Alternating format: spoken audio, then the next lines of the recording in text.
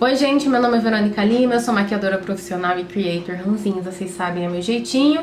Pra gente começar janeiro, eu decidi trazer esse vídeo aqui, meio que dando uma atualização da Necessaire que eu renovei ano passado. Em outubro eu fiz um vídeo aqui renovando a Necessaire, que nada mais era do que é, dar uma variada nos produtos que eu sempre estava usando incansavelmente. Eu mesma já estava enjoada dos mesmos produtos, vocês já estavam careca de saber o que, que eu tava usando, todo vídeo era sempre a mesma coisa.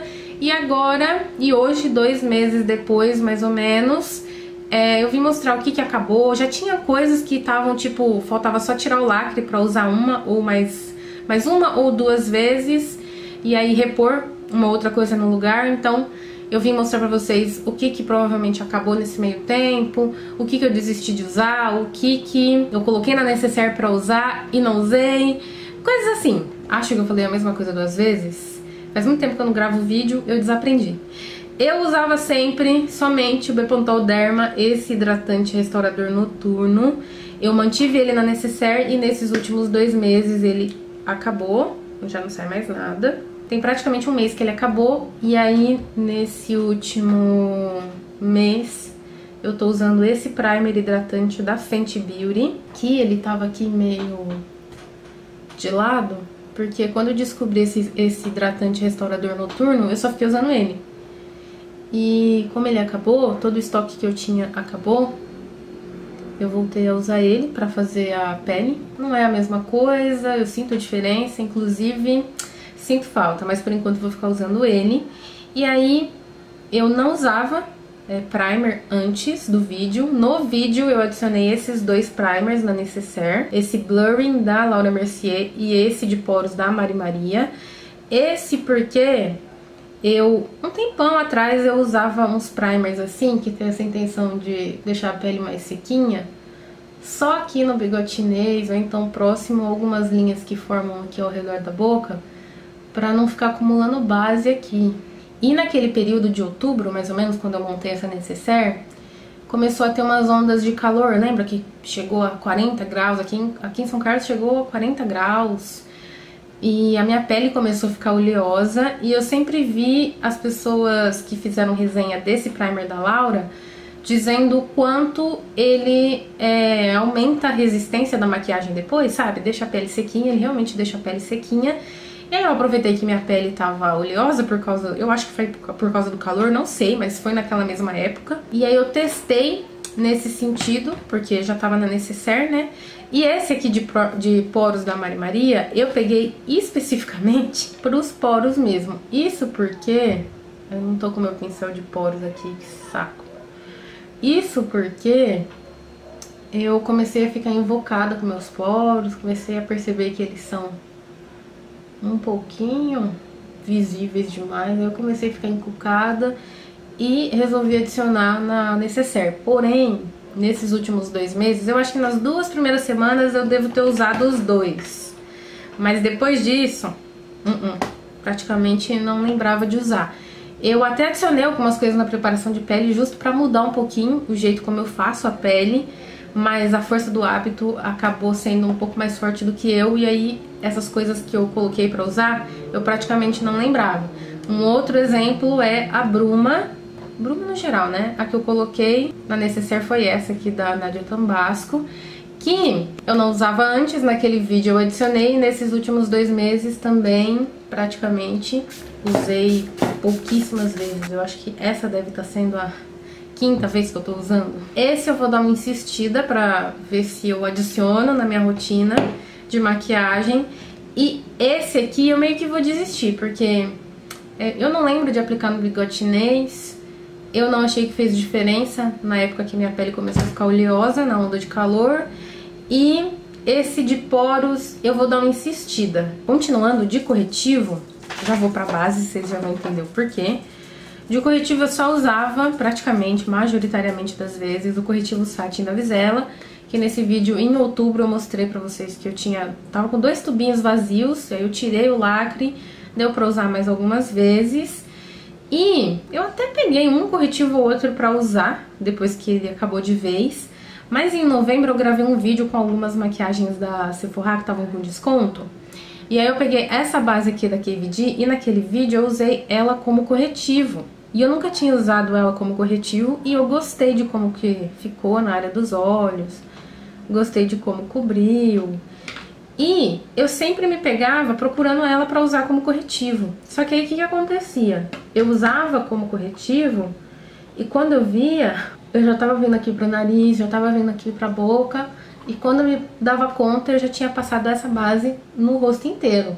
E foi assim durante praticamente dezembro inteiro. Eu sempre me empolgo usando essa base. Eu falo, vou usar como corretivo. Quando eu vejo, eu apliquei no rosto inteiro. E de base, eu tava usando sempre, incansavelmente, a Cover Up da Mari Maria. Acabei ela e eu tinha decidido colocar a base da Nina e a base da Bounty pra ficar usando sempre. A base da Bounty principalmente para ir trabalhar, que é uma base mais resistente, e a base da Nina também, caso eu quisesse usar a base da Nina para ir trabalhar, ou então para gravar vídeo. A base da Nina, praticamente, eu usei, se eu usei duas vezes, foi muito. A base da Bounty, eu acho que eu até cheguei a usar, né? Quando eu não tinha descoberto isso aqui como corretivo ainda. E eu acho que eu me empolgava usando ela porque tava muito calor. E eu sempre achei que essa base fosse uma base que não aguentava calor, né? E aí eu ia trabalhar, usava máscara, calorão e tal. E a base dava certo, sabe? Não ficava transferindo, derretendo dentro da máscara. E deu nisso. Só que agora eu pretendo voltar a usar ela somente como corretivo e realmente voltar a usar as bases que eu me propus a usar. Tem um outro produto nessa etapa também que eu não usei aqui porque essa cor de base eu não preciso usar ele, que é o corretor verde da Xiglan que eu sempre usei ele, praticamente, no último ano. No vídeo eu mantive ele e nos últimos dois meses, conforme eu usava alguma base que eu precisava de correção de, de subtom, eu usei ele. Quando eu tava usando só a da KVD, não usava, porque como eu falei, é, não preciso corrigir o subtom, essa cor, o subtom dessa cor de base pra mim. Mas ele é um item essencial da minha necessaire. Se porventura eu precisar sair de casa porque eu vou me maquiar fora e eu preciso levar meu necessaire, isso aqui não tem como eu sair de casa sem ele na necessaire. Um outro produto que eu tava usando também incansavelmente é esse contorno da Xiglan, que ele tá de ponta cabeça porque, por mais que eu fale necessaire, gente, a minha necessaire fica em cima da mesa, eu não tiro ela daqui. E aí eu tava deixando ele de ponta cabeça pra ver se eu conseguia tirar é, alguma quantidade restante dessa embalagem não sei se em vídeo aí vai dar pra ver, mas é, dá pra ver que já não tem mais produto. Tem umas partes meio transparentes que eu consigo ver o outro lado. Em vídeo eu acho que não vai estar tá tão visível isso, mas enfim. E também não sei se fez muita diferença eu deixar de ponta cabeça, né? Mas eu coloquei ele na necessaire justo porque lá no começo do ano passado eu coloquei ele na necessaire porque eu queria acabar com ele. E eu meio que cheguei nesse objetivo porque, ó, tá vendo que já praticamente não sai nada? Mesmo deixando de ponta cabeça, não tem mais o que descer aqui. Essa embalagem também, ela não, não permite muito que o, o produto desça. Não é aberta essa embalagem, ela é aberta lá no fundo, mas na lateral aqui eu tenho a impressão que fica produto preso. Enfim, quando você compra um novo, quem tem sabe que a cor sai um cinza bem forte, né? E aí tá saindo só essa quantidadezinha aqui. Enquanto tiver saindo essa quantidadezinha aí, eu sigo usando. Mas aí também eu não sei o que, que eu colocaria no lugar, né? porque a Xiglan meio que me estragou. Estragou minha vida. Porque nenhum outro contorno que eu já tenha usado, líquido ou cremoso, que eu já tenha usado depois de conhecer isso aqui, é frio o suficiente. E aí, sei lá, eu sempre acho estranho. E aí, não sei. Só que eu também não queria recomprar ele porque eu não, não gosto muito dessa embalagem. Eu acho que não dá pra eu cortar a embalagem e ficar raspando o restante que tem e não sei o que eu vou fazer. Continuando a pele, eu gosto muito de usar bronzer. Eu usava incansavelmente esse aqui da NARS, na cor Laguna 01, que é o bronzer cremoso. Eu mantive ele na necessaire em outubro e eu continuei usando nos últimos dois meses, tanto que eu cheguei no PAN. Só que eu não sei se eu peguei sol esses dias e mudei minha, minha cor de pele, que eu sinto que ele não, não tá muito aparecendo. Lembra que ele aparecia pelo menos um pouquinho? E aí eu, eu ando meio assim, achando, me, estranhando a cor, estranhando a cor que fica. Porque antes ficava uma cor clara, mas neutrinha, mas ainda dava pra ver. Só que agora... E eu tô pegando produto, ó. Tem produto no pincel. Mas parece que não dá diferença. Mas aí que eu cheguei no fundinho da embalagem, né? Eu fico meio... Sei lá, com o pé atrás de trocar pra outro. Eu queria usar mais ainda, sabe? Acabar com o produto, mas... Não sei. Vamos ver como é que vai ser daqui nos próximos dias. Ainda com a pele sem selar, indo pro iluminador, eu não lembro de antes estar usando algum iluminador sempre, algum iluminador cremoso sempre. Eu sei que em outubro eu adicionei esse aqui na Necessaire, que é o Marmalade da BM Beauty, que é um iluminador mais cremoso, mas eu não tenho muita memória de usar ele, então significa que eu deixei um pouquinho de lado, né? Eu acho que nas duas primeiras semanas que eu acabei de montar a necessaire nova, pode ser que eu tenha usado, mas depois eu acho que eu já ia direto pro iluminador em pó. O que nos leva ao bronzer em pó, que antes eu tava usando incansavelmente um bronzer em pó da NARS, que eu usava, usava, usava e não via aparecer um buraco naquele bronzer. Aí eu decidi pegar um outro que tava mais parado aqui pra usar, que foi essa paleta aqui de rosto da Fran. Só que, como vocês podem ver, esse, tom quebrou sozinho. Por mais que eu tenha colocado no necessaire, ela fica aqui em cima da minha mesa, como eu falei pra vocês. E eu, quando comprei essa paleta, foi logo que lançou, eu comprei três vezes, nas três vezes vieram quebradas. Essa daqui é a quarta paleta. Então eu sei que é um produto muito sensível, então se eu precisasse sair de casa e levar necessaire, não ia ser um produto que eu ia levar junto. Porque eu sei que ia correr o risco de quebrar. E quebrou sozinha mesmo assim. Eu tava usando esse tom aqui, que é o mais claro como bronzer. Eu ficava meio irritada, porque ah, tinha que ficar abrindo com cuidado para essas partes que quebradas aí não cair, eu perder o produto. Ao mesmo tempo que eu tava sem tempo de recompactar. Então foi ficando de lado. E nesse meio tempo, o que que aconteceu? Eu fiz também aquele vídeo de maquiagens que, tão, que estavam com desconto na Sephora. Uma das maquiagens que estava com desconto naquele vídeo, naquela época, era o bronzer Hula da Benefit. E quando eu gravei aquele vídeo, eu deixei essa paleta aqui em cima também. E aí, conforme eu ia precisando usar bronzer para selar o bronzer cremoso, essa paleta aqui já estava na minha frente, então eu já pegava para usar. E eu mantive usando assim. Essa, essa paleta aqui, no entanto, ela é muito grandona, né? Ela é um trambolho, nem cabe na necessaire. Essa paleta não é uma paleta assim de necessaire, é uma paleta de mesa. Ela ficava aqui na mesa porque não guardei no lugar dela e eu fiquei usando. Só fiquei usando esse bronzer Rula aqui. Então ficou meio a meio. Usei o bronzer da Fran até o tempo que quebrou e aí no último, mais ou menos um mês, e aí no último mês, depois que eu fiz aquele vídeo, é, em época de Black Friday, eu fiquei usando só o Rula da Benefit.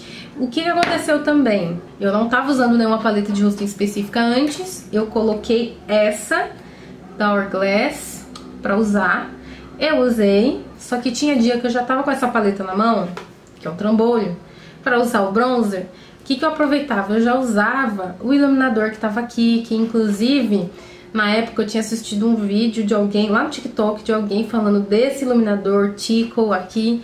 Aí eu, eu olhei pra paleta e falei, olha, é aquele iluminador que falaram lá no TikTok. Vou usar ele pra ver como que fica na minha pele. Aí eu usei, aí eu achei bonito. Aí eu fiquei usando, sabe? Já tava com a paleta na mão, né? Prático, principalmente em um, em um dia que eu tava com o tempo mais curto pra me maquiar. E tinha dia que eu vinha aqui com mais tempo, pegava de novo a paleta da Hourglass, falava, vai não, hoje tá rosa demais, vou pegar aqui um pouquinho do, do blush laranja, que é esse aqui, e dar uma esquentada nesse meu blush. E aí fazia dessa forma.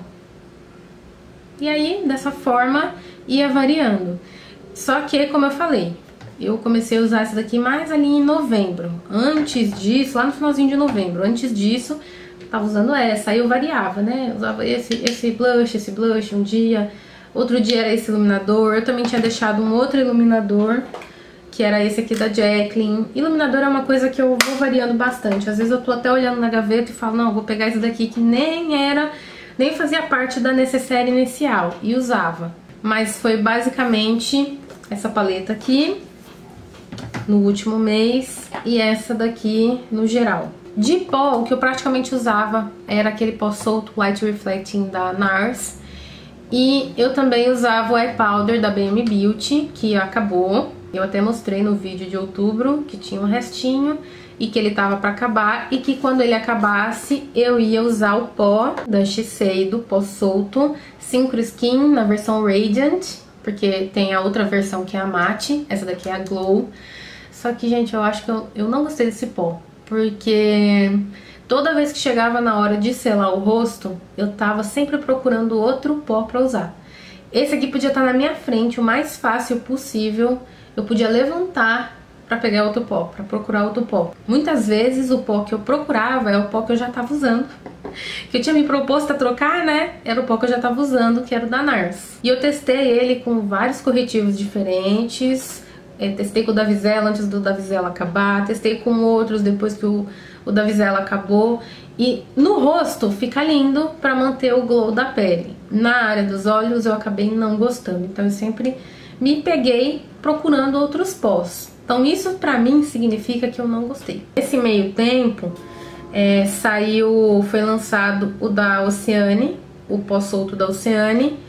E aí, nessas de não querer usar aquele da Shiseido, tava esse aqui pra eu testar, né? Eu falei, ah, vou pegar ele, já aproveito o testo. Só que ele também tem uns detalhes, assim, pro rosto, eu gosto de usar. E aí eu fui testando, naquela época que minha pele começou a ficar meio oleosa, lá na onda de calor. Aí eu fui testando nas modelos também, porque a ideia era eu testar nas modelos para eu saber como que ia reagir em peles diferentes. Achei legal para pele oleosa, em outras peles. Na minha pele também, no rosto, tava funcionando bem. Mas ele tem um detalhe que me fez também ficar meio assim que é o fato dele escurecer na área dos olhos. Então era um pó que eu não é um pó que eu não consigo usar ele sozinho na área dos olhos, porque eu sempre tenho que procurar outro pó para usar junto. O que que eu fiz? Eu tinha ido para São Paulo uma vez e comprado esse pó da Kiko, que é um pó Baked, um pó radiante Baked. E aí eu também precisava testar esse pó. O que que eu fiz? Eu comecei a pegar ele, selar embaixo dos olhos fazer uma primeira selagem com ele para a pele ficar menos grudenta. E aí depois eu vinha com o pó da Oceane e terminava de selar, porque aí dessa forma não escurece o corretivo, ou a base, né, no caso da, da KVD. Aí dá pra usar. Mas mesmo assim, é praticamente a mesma coisa que esse, porque esse daqui eu não achei que deu certo na área dos olhos. E esse daqui também não deu, porque escurece, mas fica menos feio com o passar das horas do que esse daqui. Esse aqui marca muito o passar das horas. Então, de uma forma geral, os dois eu preciso de um segundo produto para fazer eles funcionarem. Então, eu ainda não tô muito assim com um pó fixo. É provável que eu volte pro pó da Nars. Ou pro pó da Givenchy, que é um pó que eu gosto bastante também, por mais que seja mate. Pra sobrancelha, na época eu tinha acabado de fazer brow lamination, então eu tinha é, que manter aquele efeito laminado. E para manter o efeito de sobrancelha preenchida, tinha que ser preenchida daquela forma, tinha que ser com essa caneta de sobrancelha, que é uma caneta da Urban Decay, tá vendo que ela tem um ladinho aqui que é, um, é bem fininho. Então antes eu só tava usando essa pastinha aqui da KVD, aí eu fiz a Brow Lamination, eu troquei pra caneta, só que quando o efeito da Brown Lamination passou, que durou aí mais ou menos uns 40 dias, eu tive que voltar pra essa aqui de novo. Porque aí o efeito dessa aqui sozinha eu já não tava... É, eu não tava acostumada, né? Eu tô acostumada com o efeito disso aqui. Tem um vídeo aqui no canal, que é o Guia Definitivo da Sobrancelha, que tem todos os itens que eu mostrei aqui agora. De sobrancelha também tem esse gel incolor da Anastácia, que é aqueles gelzinhos de fixar a sobrancelha que até hoje não ficou nojento, ó. Porque às vezes a textura muda de cor, né? Ou então fica mais grossinho. E nesses últimos dois meses ele não ficou. Fiquei viciada em finalizar a sobrancelha com isso aqui. E eu só não usava outros porque começava a mudar a textura e eu fico meio assim. Próximo produto Eu não usava antes. Eu devo ter usado algumas vezes para testar, para ver se eu sentia diferença, mas eu nunca fui de usar, eu sempre fui de usar corretivo na pálpebra para aplicar sombra. E aí no vídeo renovando a necessaire, eu adicionei esse primer de sombras, pelo simples motivo de que eu já tinha ele aqui e eu queria terminar com ele. Me mantive mesmo realmente usando ele no objetivo de acabar com o produto, usar até o final. É, não tem uma paleta de sombras em específico né, nessa necessaire que eu montei. É, eu tinha pensado em usar aquela paleta de marrons da Fran, essa aqui, para quando eu precisasse de algum esfumado marrom mais prático e rápido, coisas assim. Mas, como eu disse, ela quebrou e eu fiquei meio que com raiva e não queria usar e deixei ela de lado. Mas também não era um problema porque eu sempre é, pegava alguma outra paleta de sombras que eu tivesse afim de usar no dia. Tanto que é por isso que não tem uma em específico aqui, eu sempre ia variando.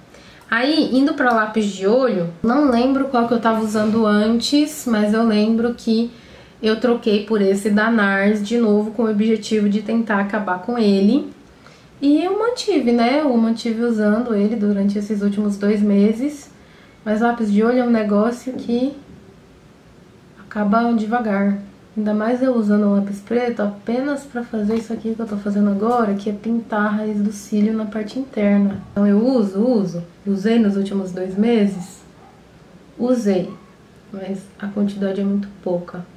Então o progresso é bem, bem devagar. Agora, se tem um lápis que eu amei usar, foi esse aqui, marrom, cor 14, da Sephora. Vou colocar assim. Ele, eu sempre deixo é um preto, um marrom e um bege. O bege eu praticamente não usei, também é o da Sephora, na cor